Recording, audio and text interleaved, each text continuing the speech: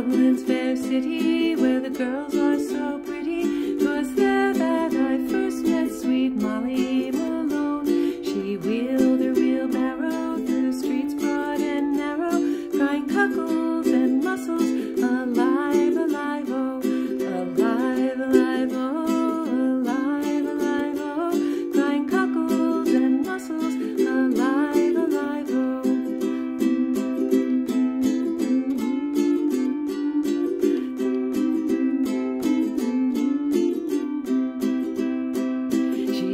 a fishmonger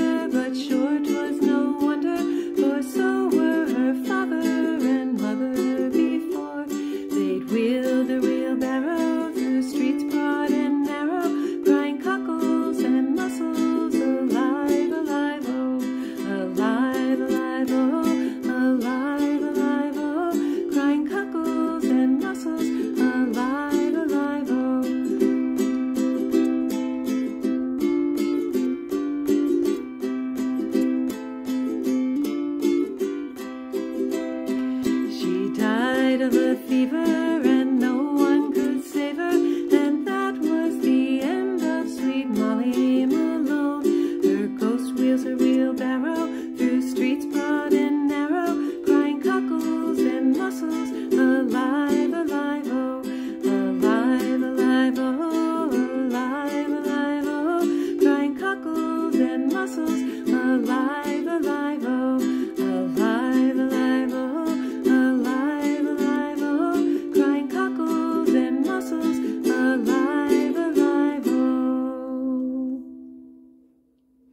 Happy St. Patrick's Day 2023. Wish I had memorized that, but I did my best.